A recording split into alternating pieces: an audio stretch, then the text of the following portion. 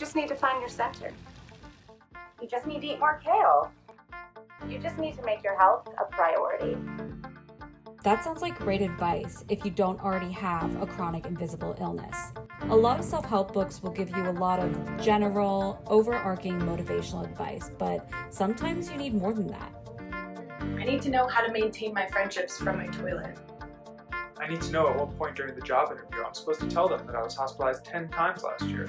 I need to know what to say to Aunt Shirley when she says things like, If you just thought more positively about your health, you could heal your diseases.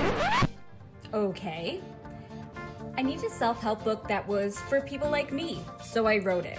It's called Surviving and Thriving with an Invisible Chronic Illness, and it's about living real life with real chronic disease. So, if you're a guy or a girl and you have diseases like Diabetes. Dysautonomia?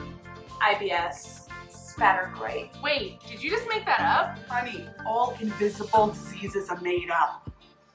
then get the book and learn how you can do more with your life when your body just isn't always on your team.